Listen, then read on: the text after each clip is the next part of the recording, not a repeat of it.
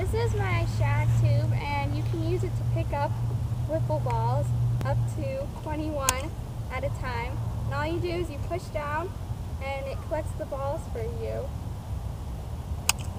And it's really easy and fast. And if you want to release the balls, all you have to do is push down here